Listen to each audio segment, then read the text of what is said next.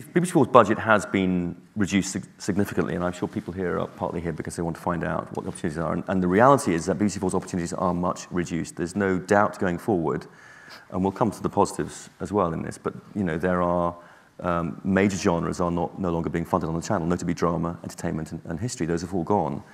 And it is quite a big cut in my origination flex, in other words, in the areas where um, I have flexed to originate. There are things I've got to do. I've got to make the proms. That takes up a certain amount of money. There's certain things which have to be done.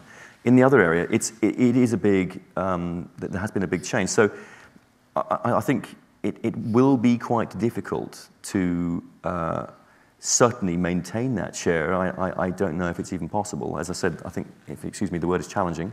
Um, uh, reach, I think, will also be a bit of a struggle.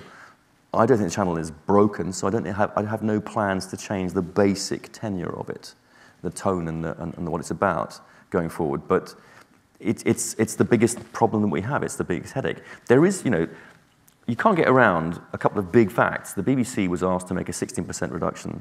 That's 700 million pounds out of a 3.5 billion pound budget. On in vision, that's television, it was 300 and something million pounds out of 1.7. That's those are big numbers. They will hap- they, they are happening, and there will be it, it, it, people will see it. And, and I think the, the, the creative community who supplies programming to BBC4 and indeed other channels will, will feel that a bit because there's going to be fewer things to commission.